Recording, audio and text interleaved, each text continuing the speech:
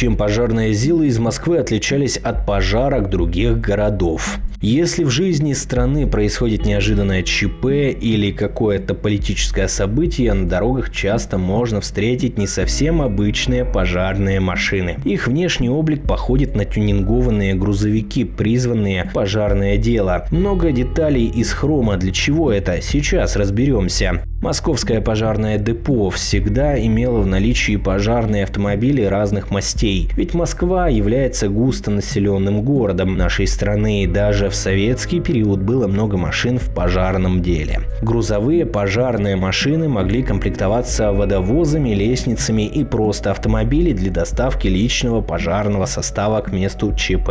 Помимо своей прямой деятельности в тушении пожаров и эвакуации людей, автомобили также были задействованы и в других крупных политических событиях, таких как Путч 91 года. Тогда действия военных привели к трагическим последствиям. Кроме того, пожарные расчеты привлекали не только для ликвидации последствий, но и для их предупреждения. К примеру, нарушение правопорядка в 2002 году после футбольного матча с японцами. Такой подход обуславливался тем, что пожарная охрана находилась под крылом МВД. Перед московскими пожарными расчетами всегда стояли сложные задачи. На фотографиях 1993 года можно заметить ЗИЛ-130 с хромированными элементами. Таких не было на пожарных машинах простых городов. У этого хрома нет какого-либо определенного назначения. Хромированные детали просто подчеркивают статус московских грузовых пожарных расчетов. Учитывая, что ЗИЛ производился в Москве, то на пожарную службу столицы отправляли эксклюзивные машины, выпускавшиеся ограниченным тиражом. Внутри они ничем не отличались от стандартных грузовиков, а вот внешние черты были подчеркнуты хромированными деталями. Вся эта хромированная история была начата еще до образования завода ЗИЛ во времена ЗИС. Также на машине ЗИС-150, версия которой имела отношение к пожарной деятельности столицы, также допускала хромированные детали. Как видите, столичные понты берут корни еще до появления ЗИЛ-130 и ЗИЛ-131. Машины, которые вы увидели в этом выпуске, относятся к одному и тому же заводу, который тушил огонь